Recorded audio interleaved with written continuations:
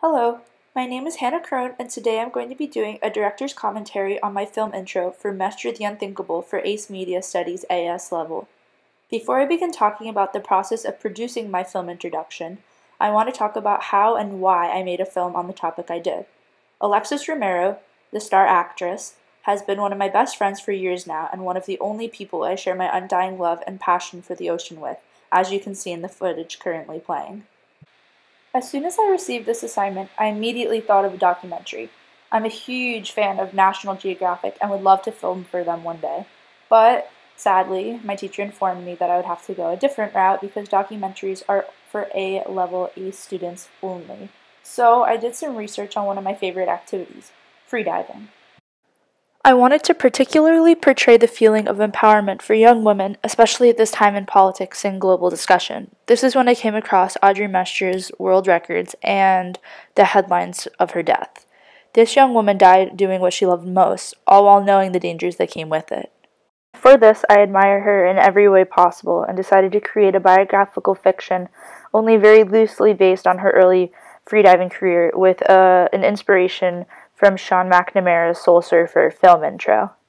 I wanted my film intro not to focus so much on the tragic end to her life, but the perseverance and determination she had to do what people told her she couldn't do beat male freediving records.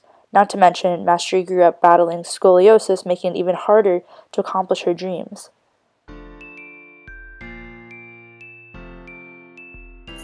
All of the audio in my film introduction is original. All sound effects were recorded by me, and the whole soundtrack was film scored by Fausto Capilouto using GarageBand and Logic Pro X. It was greatly appreciated. As the film progresses, the tempo picks up and more instruments are added. I was going for a sense of pride and perseverance while she goes step by step getting ready to jump in and freedive.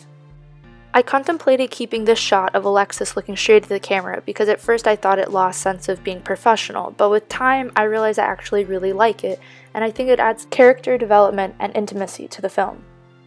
I used a lot of cross dissolve transitions and medium shots at this point. I used the cross dissolves because it is aesthetic and there was no need for the abruptness of jump cuts at this time. I wanted the shots to flow much like the ocean does. I used medium shots because I thought it was important that the viewer could still see the surrounding environment but was forced to focus in on certain objects such as the fins and the mast because they're important to freediving and to Audrey Mestre. Now, I've paused this part coming up because it is one of my favorites, so pay close attention. The music builds and get but gets more quiet, and then I used a jump cut to switch angles of her jumping in, and then the music builds back up and gets louder to signify the rush, the empowerment that she feels with being in her element as she ascends to the surface and begins swimming to start her day freediving.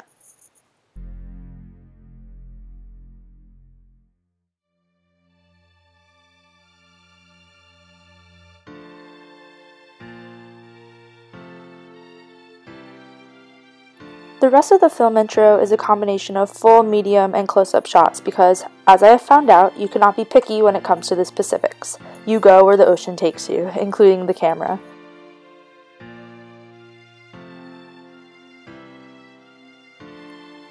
At this point, I dove down and put my camera on the bottom so Alexis could swim around it, but we lost it for a few minutes and spent a lot of time looking for it.